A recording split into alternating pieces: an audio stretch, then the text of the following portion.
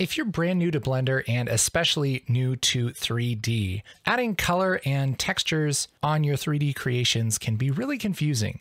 So this is the absolute simplest way to do it. We have a cube here. We're not going to do any fancy modeling on this, but let's say that this is going to be a wooden crate. Well, the very most basic way to make this sort of like a wooden crate would be to turn this brown. So all colors and textures and basically anything beyond just having a gray surface is going to have something to do with adding or changing the material. So with my 3D object selected, I can go down here to this little red circle, and that's going to bring up my materials palette. And everything in 3D is made up of a material that has to do with its color and how it reflects light and its roughness and all of that. But the most basic version of this is just the color of the material. We have our default material here, which is already applied to this cube. And if I click on this white part by base color like this, I get a color picker. And let's just do kind of an orange and then make it dark. That's going to make us a brown. We'll even have this nice and saturated like this, then click off. Now, I've turned this base color brown for my material, and the material is already applied to this cube, so what the heck? Why isn't it brown? This was so confusing to me when I started Blender. And the answer is up here. There are multiple different ways to view your 3D objects in Blender. And by default, this one is called viewport shading. And basically it's just looking at the shapes. It doesn't really take into account what they're made out of. It's just kind of this gray shape. To the left, we can switch it to wireframe mode. And to the right, we can click this next one over and we get hardware shading. So this kind of gives you a rough idea of what the textures and colors and things are. And so this is going to be great for us. It's sort of like a lower quality way to see the materials in the viewport. But if we switch over to the very far right, click this, that is going to actually give us a rendered view, which means that it's going to react to lights and there's going to be shadows and all kinds of stuff like that. So we can see the reflections on the top of that cube. One side is bright, another side is dark. And so that's going to give us a better idea of what this is going to look like when we actually render it. But for now, I'll switch back to our hardware shading and we have our brown cube. Now, let's say that we want to go one step further and we want this to actually look like a wooden crate and not just a brown box. Well, one thing we could do would be to add more geometry to this.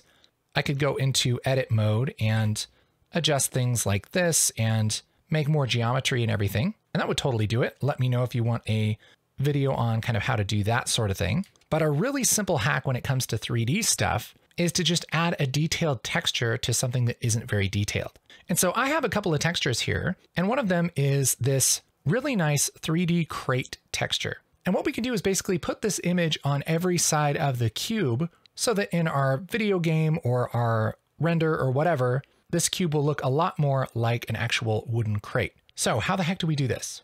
Well, the answer, just like our color is here in the material. And here I'm just going to mouse over base color and hit backspace. That's going to reset my base color to white. And then I'm going to click this little yellow dot. That's going to bring up all different kinds of things that we can do to this base color. But I'm going to go over and select image texture right here. That's going to change this color to use a texture.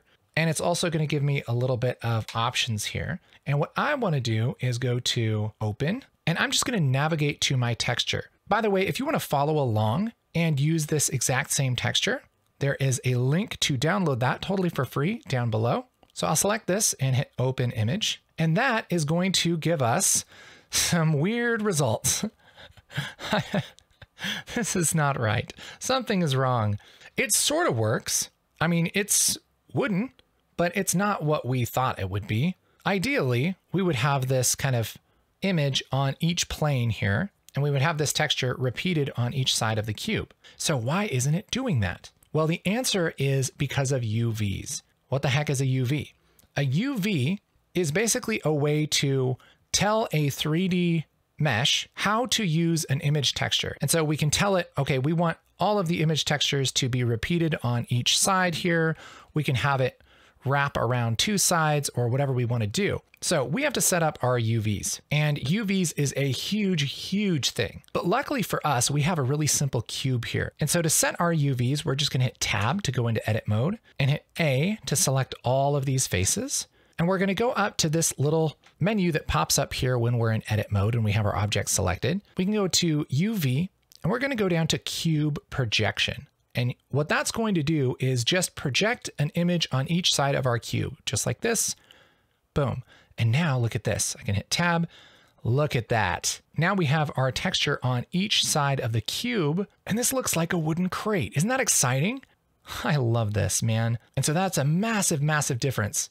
And so even if you're brand new to Blender now, you can make a textured cube and do all kinds of cool stuff. I mean, you could do some Minecraft goodness just with this little bit of information. That awesome? The other thing I can do is go down here to this little bit in our material options, and I can decide how rough I want this to be. So I can push up the roughness a little bit because that wood is probably pretty rough.